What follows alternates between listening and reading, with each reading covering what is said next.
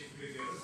Hem bu ilginize, alakanıza, hem bu hassasiyetinize çok çok teşekkür ediyoruz. İnşallah başka hastalarda e, siz çok güzel söylediniz. Az önce söyledikleriniz çok güzeldi. İnşallah sizden onlar, siz kötü bir şey geçirmişsiniz ama onlar sizin sayenizde belki de hayatlarını kavuşacaklar.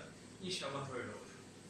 Evet, ben e, bu Covid-19 e, salgınının e, hayırlısıyla bütün ülkece bir an önce at- atlatılmasını Allah'tan diliyorum.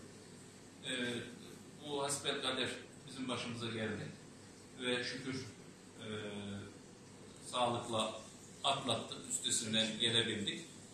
E, bunun bu tür kan bağış içinde bir fırsat olduğunu ve bu hastalığı e, yenerek şifa şifaya kavuşan, şifa bulan e, insanların için insanlar için bunun bir vazife olduğunu, e, buna böyle bir katkıda bulunmak bakımından e, çok yararlı olacağını düşündüm ve zevkle e, çağrıya uydum e, ve kan bağışında bulundum. E, usulünce ne kadar vermem mümkünse o kadar vermeye de devam edeceğim. E, ben e, iyileşen, şifa bulan tüm hastalarımıza sağlığına kavuştuktan sonra çok nezih ortamda, çok steril ortamda ilgiyle alakayla sağ olsunlar e, alıyorlar ve bunu e, yaygınlaştırmak lazım.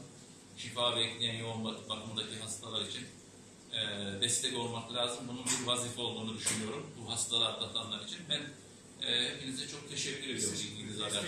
ederiz. Başarılar diliyorum e, bu mücadelenizde ve sağlık personelinin e, yoğun tehlike altında olduğunu görüyoruz. Çok kıymetli doktorları, sağlık personelini maalesef e, enfekte olmuş olarak duyduk, kaybettiklerimiz var. E, kaybettiklerimize başsağlığı diliyorum. Görevdekilere de başarılar diliyorum. Allah muvaffak etsin.